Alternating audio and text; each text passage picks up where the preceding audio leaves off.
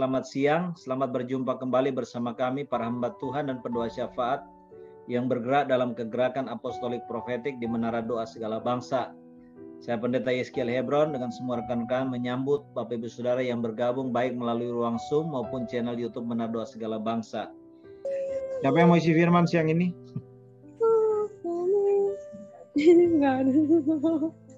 Baik, saudara, kita akan masuk dalam firman.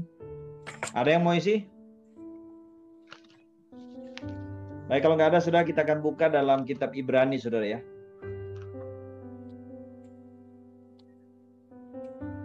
Ibrani pasal yang kelima. Ayat yang ke-12 sampai ayat yang ke-14. Ibrani pasal 5 ayat 12 sampai 14. Silakan siapa yang mau bantu baca? Bisa baca. Ibrani 5 ayat 12 sampai 14. Ana, siapa? Siap. Bagus. Ibrani 5 Aduh, dulu. Ayat 12 sampai 14. Ibrani Ibrani 5 Pak? Ibrani 5 ayat 12 sampai 14. Oh, 12 sampai 14. Ya, mari kita baca firman Tuhan Ibrani 5 ayat 12 sampai 14. Sebab sekalipun kamu ditinjau dari sudut waktu, sudah seharusnya menjadi pengajar. Kamu masih perlu lagi diajarkan ajas-ajas pokok dari pernyataan Allah dan kamu masih memerlukan susu, bukan makanan keras. Sebab barang siapa masih memerlukan susu, ia tidak memahami ajaran tentang kebenaran, sebab ia adalah anak kecil. Tetapi makanan keras adalah untuk orang-orang dewasa yang karena mempunyai panca indera yang terlatih untuk membedakan yang baik daripada yang jahat. Demikian firman Tuhan. Amin. Saudara, siang ini kita perlu merenungkan ya terhadap perjalanan kehidupan kita sebagai anak Tuhan ataupun orang Kristen. Sudah berapa tahun kita menjadi seorang Kristen? Sudah berapa tahun kita jadi pengikut Kristus dan jadi anak Tuhan? Ya, kalau sudah bilang, "Pak, saya sudah 20 tahun, saya sudah 30 tahun. Saya bahkan sejak lahir Begitu keluar dari perut mama saya sudah jadi Kristen. Ya, karena saya langsung diserahkan kepada Tuhan. Nah, yang jadi pertanyaan adalah bukan berapa lama kita jadi Kristen, tetapi adakah satu keseimbangan antara lamanya kita menjadi seorang pengikut Yesus dengan segala buah karakter di dalam kehidupan kita. Nah, itu yang perlu saudara kita pikirkan dan renungkan siang ini. Sebagaimana firman Tuhan dikatakan, ditinjau dari sudut waktu, karena berapa lama? Udah 30 tahun jadi orang Kristen. Bahkan waktu keluar dari perut mamanya sudah langsung jadi Kristen. Ya, jadi kalau ditinjau waktu sudah lama sekali jadi orang Kristen, udah puluhan. Puluhan tahun. Dikatakan sudah seharusnya menjadi apa? Pengajar jadi, jadi guru, jadi dosen. Tapi ini masih jadi apa? Masih kanak-kanak terus. Sehingga kalau dikasih firman, mesti kasih firman yang kualitas susu. Nggak bisa kasih makanan keras. Kenapa? Kalau dikasih makanan keras apa? Keselak dia. Ngambek, eh salah pak. Tersinggung sakit hati, marah. Nah ini contoh orang-orang Kristen yang saudara sudah puluhan tahun jadi Kristen, sudah puluhan tahun dibaptis, tapi kelakuannya nggak berubah. Ataupun mungkin berubah terlalu sangat-sangat minim gitu Sehingga tidak boleh dengar firman yang keras, firman yang sifatnya menegur langsung marah, langsung tersinggung. Ya, Langsung ngomong ini pendeta apa pendekar? ya. Nah, saudara ini ada banyak orang-orang yang seperti ini. Saya yakin saudara pernah ketemu. Mungkin banyak ketemu. Di sini ada enggak ketemu? Orang-orang mungkin saudara ya ketemu dengan keluarga, saudara saudara sendiri udah puluhan tahun jadi Kristen. Tapi sikap dan karakternya kok kurang sekali perubahannya gitu. Nah ini saudara kenyataan yang kita temukan saudara. Sedangkan saudara Tuhan tentu tidak mau saudara kita sebagai pengikut Yesus terus kerohanian kita bayi terus atau masih kanak-kanak terus gitu. Tuhan mau betul-betul rohani kita betul-betul mengalami pertumbuhan menjadi dewasa. Dan dewasa bukan hal usianya atau umurnya, tetapi secara khusus apa karakternya ini loh, dewasa. Jangan saudara 30 tahun egois, sampai sekarang masih egois. 30 tahun suka iri hati, sampai hari ini masih suka iri hati. 30 tahun lalu masih suka bohong, eh sampai hari ini masih suka bohong juga gitu loh. Itu namanya tidak ada perubahan atau mungkin berubah tapi sangat-sangat sedikit sekali. Tidak bisa dengar-dengar firman yang sifatnya menegur. Saudara, firman itu salah satu manfaatnya dikatakan oleh Alkitab dia bertujuan apa? Memperbaiki kelakuan. Ya. Coba kita lihat Saudara ya. Kita lihat di dalam firman Tuhan.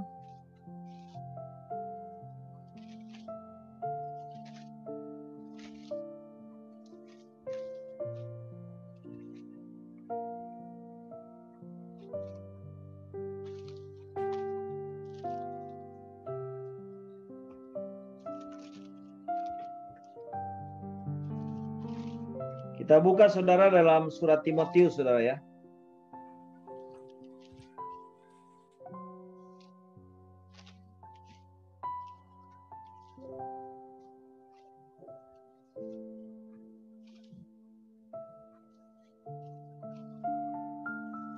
Kita lihat dalam surat Timotius. Timotius berapa, Pak? Bentar ya. Timotius satu dua Satu Timotius eh sorry dua Timotius pasal yang ketiga. Dua Timotius pasal ketiga ayat yang ke-16. Kita baca aja dari ayat 15 ya. 15 sampai 17. Silakan siapa baca? 2 Timotius pasal 3 ayat 15 sampai 17. Siapa? 2 Timotius 3 ayat, ayat 15, 15 sampai 17. Sampai 17. Firman Tuhan katakan, Ingatlah juga bahwa dari kecil engkau sudah mengenal kitab suci yang dapat memberikan memberi hikmat kepadamu dan menuntun engkau kepada keselamatan oleh iman kepada Yesus Kristus Yesus kepada Kristus Yesus. Segala tulisan yang diilhamkan Allah memang bermanfaat untuk mengajar, untuk menyatakan kesalahan, untuk memperbaiki kelakuan, dan untuk mendidik orang dalam kebenaran. Dengan demikian, tiap-tiap manusia kepunyaan Allah dilengkapi untuk setiap perbuatan baik. Demikian ya, terima kasih Bu Ana ya. ya. So di sini jelas ya, Ternyata firman Tuhan yang selalu kita dengar, apalagi hari-hari ini lewat Zoom ini kita dengar firman sehari tiga kali. Di situ dikatakan bermanfaat untuk mengajar. Untuk mengajar kita supaya kita dari nggak tahu jadi tahu. Oh ini ini dosa, oh ini benar, ini salah, ini baik dan sebagainya. Untuk menyatakan kesalahan, Ya kita tahu lewat firman Tuhan, oh saya salah di sini, ternyata saya masih iri hati. Oh saya salah di sini, saya ternyata masih egois. Ya, saya salah di sini, saya masih suka bertengkar. Oh saya salah di sini, saya masih kasar, saya masih keras hati. Nah itu dikatakan untuk menyatakan kesalahan. Kemudian dikatakan untuk memperbaiki kelakuan. Nah itu saudara, seharusnya kalau kita sebagai orang yang mengaku percaya Tuhan Yesus dan menjadi pengikut Yesus apalagi sudah sampai puluhan tahun itu saudara kelakuan kita seharusnya berubah. Ya, mulai dari apa hati kita yang berubah, mindset kita berubah, ya, cara pandang kita berubah, tutur kata kita berubah, ya, sikap dan tingkah laku kita berubah. Memperbaiki kelakuan dan untuk mendidik orang dalam apa? kebenaran. Karena firman saudara memperlengkapi kita, didik kita supaya kita berjalan di dalam kebenaran Tuhan.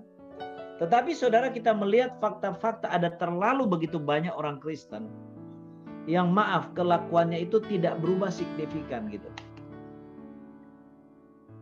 Seharusnya kalau sudah puluhan tahun itu benar-benar sudah betul-betul perubahannya benar-benar sudah drastis lah.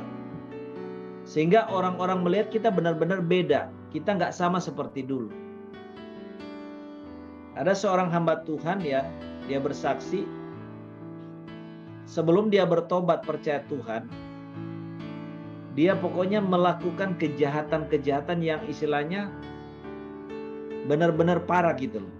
Sehingga dia bersaksi kalau dia kumpul, datang misalnya ada orang-orang jahat lagi berkumpul, dia datang orang jahat-jahat pada kabur.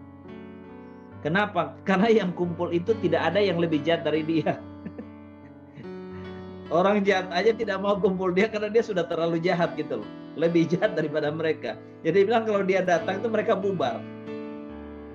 Jadi setan pun katakan dia bilang sudah nggak mau sama dia. karena jahatnya sudah pol gitu ya. Nah saudara apa yang terjadi? Keluarganya berdoa supaya dia bertobat. Dan singkatnya saudara, doa daripada keluarganya itu membuat dia bertobat waktu dia bertobat itu terjadi perubahan yang drastis gitu ya. Karakternya benar-benar berubah gitu. Berubah sangat drastis. Dan bukan hanya karakternya berubah drastis, dia kerjanya tiap hari cari Tuhan. Bahkan saudara kalau ibadah minggu di gerejanya, lima kali ibadah, lima-lima kali dia ikut. ya. Jadi sampai majelis gerejanya kaget gitu loh jadi nggak main-main saudara. Hari Minggu lima kali kebaktian dia ikut terus tuh lima kali. ya. Nah, saudara cuman apa yang terjadi? Justru waktu dia sudah berubah, bahkan dia hari Minggu cari Tuhan sampai lima kali setiap hari Minggu. Itu keluarganya seharusnya kan senang toh. Ini terbalik saudara. Mereka bilang dia sudah sinting, udah aneh. ya, mereka ngakui dia punya kelakuan udah berubah dari jahat jadi baik. Tapi hanya karena dia jadi gila Yesus, kerjanya cari Tuhan, malah mereka bilang jadi sinting. Nah inilah saudara kadang-kadang ya dunia ini memang agak terbalik saudara. Seharusnya orang ya kalau dia giat cari Tuhan ya sudah dong bersuka cita kan.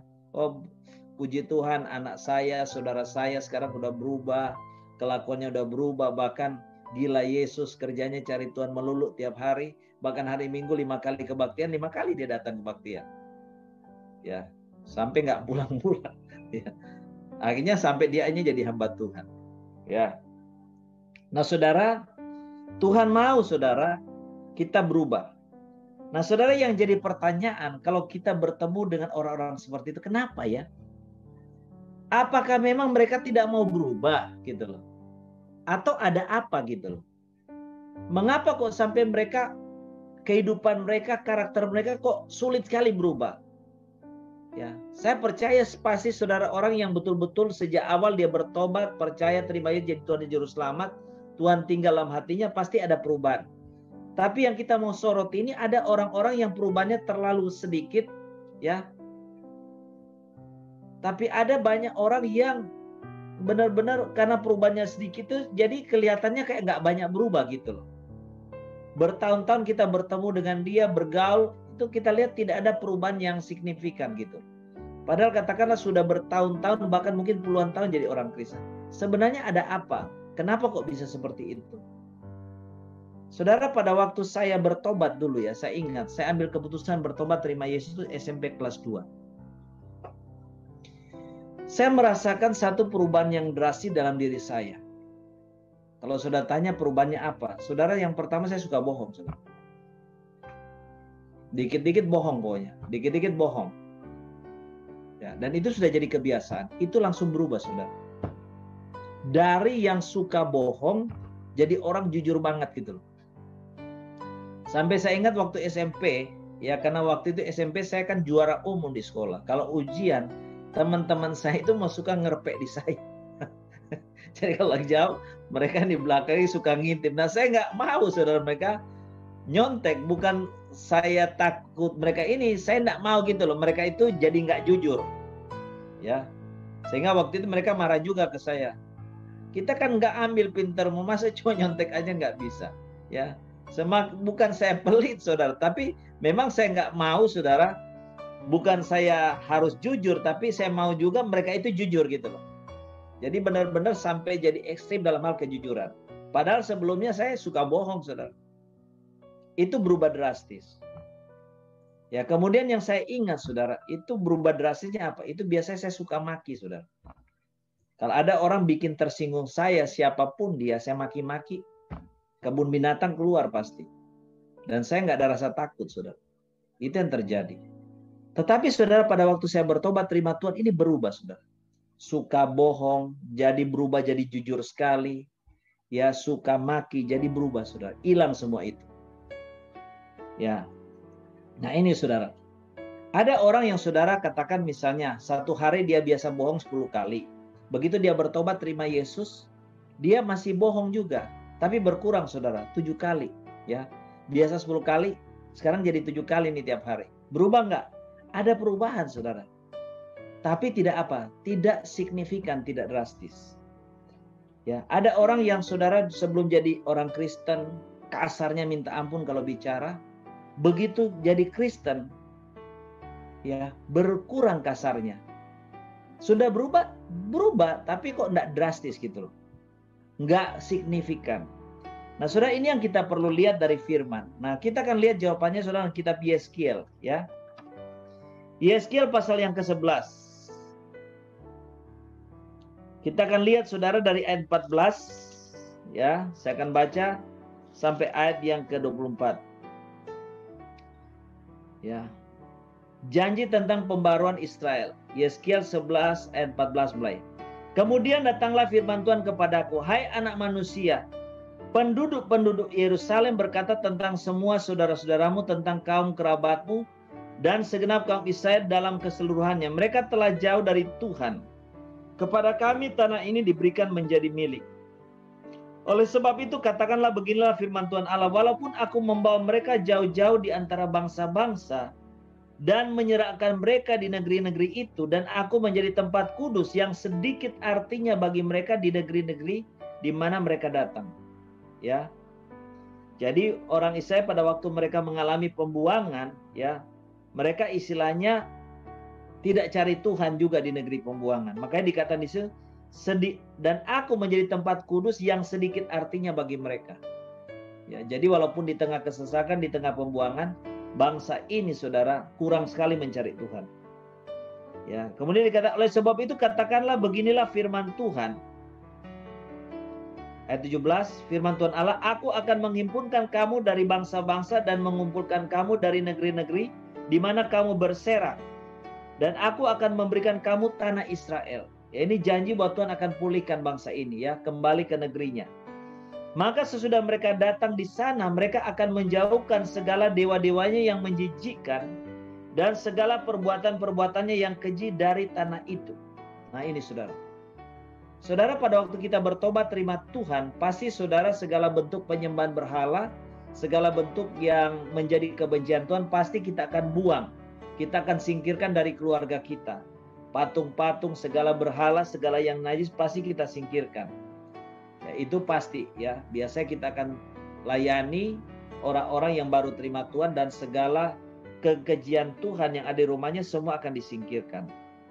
Nah, di dalam ayat selanjutnya, Aku akan memberikan mereka hati yang lain dan roh yang baru dalam batin mereka. Juga aku akan menjauhkan dari tubuh mereka hati yang keras dan memberikan mereka hati yang taat. Supaya apa?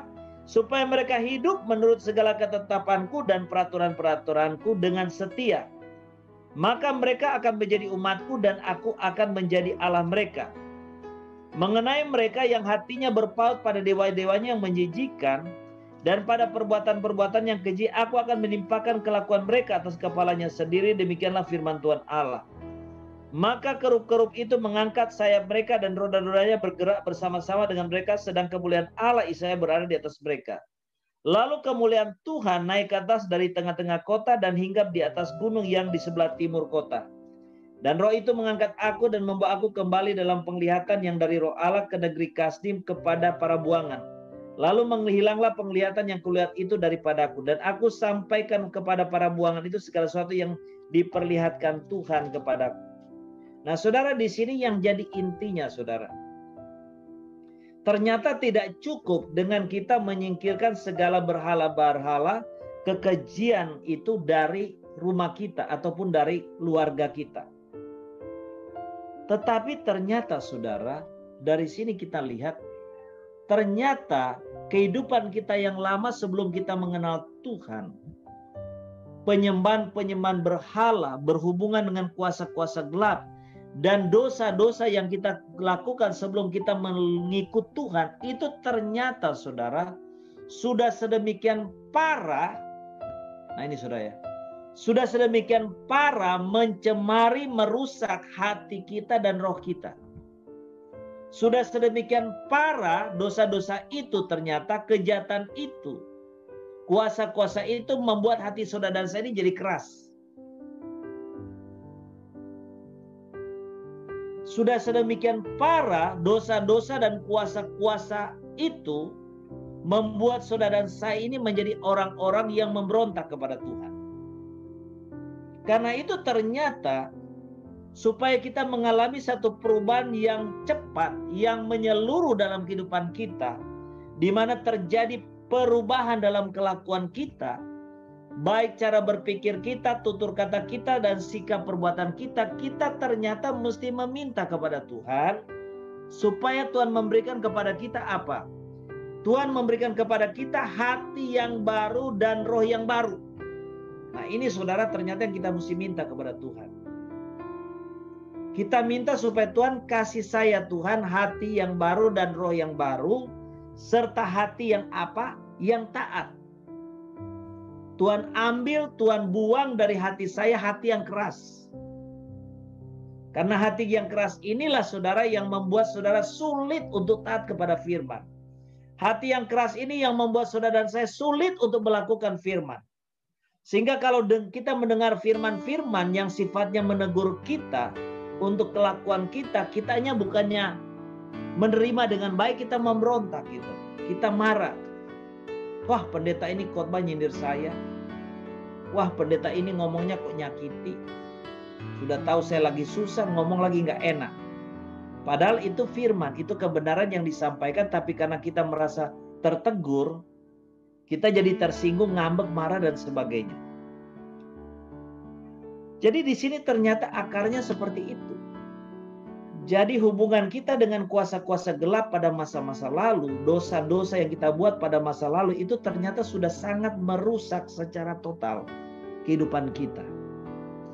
Merusak secara total hati kita sehingga hati kita jadi hati yang keras, hati yang memberontak, telah merusak sedemikian roh kita ini, Saudara. Sehingga di sini Tuhan berjanji da akan memberikan kepada kita hati dan roh yang baru dan mengambil dari hati kita hati yang keras dan Tuhan ganti dengan apa hati yang taat kepada Tuhan. Dan ini diulangi lagi saudara dalam Yesaya Yeskiel pasal yang ke-36. Saya akan bacakan. Ya. Yesiel 36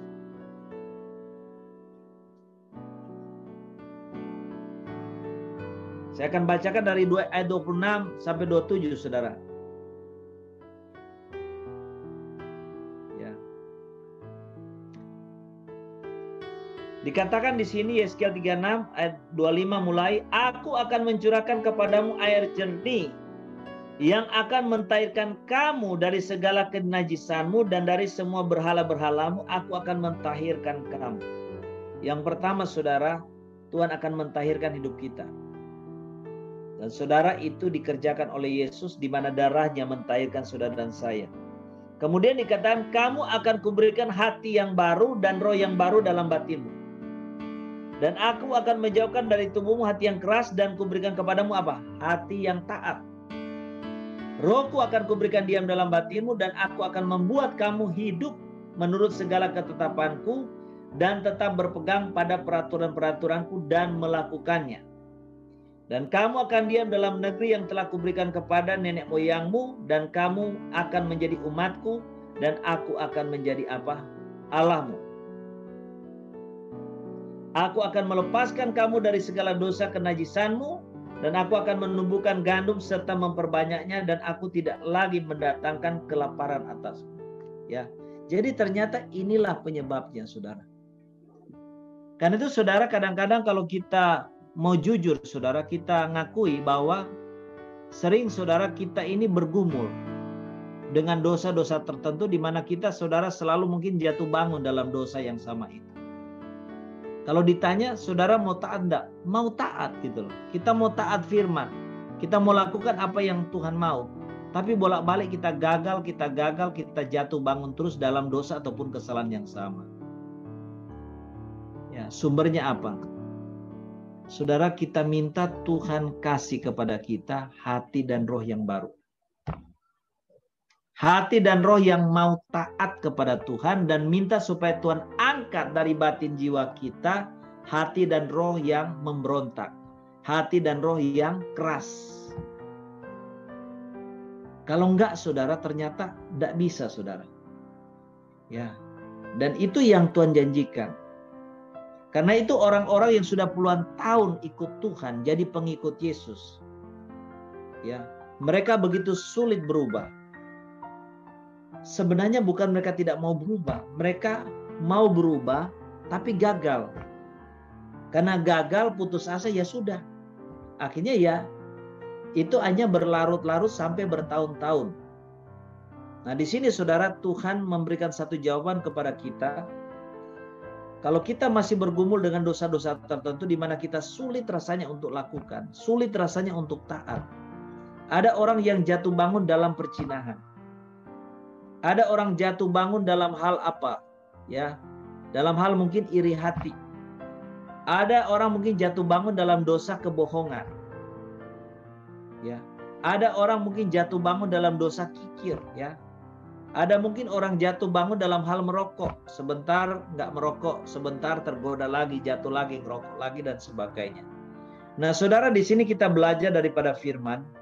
Rahasianya apa? Ya, kalau memang kita mau berubah sehingga hidup kita menyenangkan Tuhan, menjadi orang-orang yang dewasa dalam Tuhan, kita minta Tuhan kasih kita hati dan roh yang baru. Orang-orang yang pelit kikir, saudara, kalau dengar khotbah persepuluhan, itu pasti tersinggung, marah. Pasti, saudara, saya sudah ketemu dengan orang-orang model begitu. Nah, ini orang-orang yang apa? Yang hatinya keras sudah tahu firman mengatakan ya kembalikan persepuluhan. Tapi kalau mereka masih hatinya keras, mereka tidak mau. Ya. Demikian juga saudara, ya. Mereka sudah tahu saudara, kalau bicara itu tidak boleh kasar karena nyakiti orang. Tapi bikin lagi dan bikin lagi saudara. Kenapa? Ya karena mereka masih punya hati yang keras. Nah ini saudara perlu saudara minta supaya Tuhan betul-betul berikan hati yang baru, roh yang baru. Karena hanya dengan hati dan roh baru saudara, baru saudara dan saya mampu ya dan dimampukan oleh Tuhan untuk mentaati Tuhan dan mentaati akan segala firman Tuhan. Amin. Mari kita berdoa saudara ya.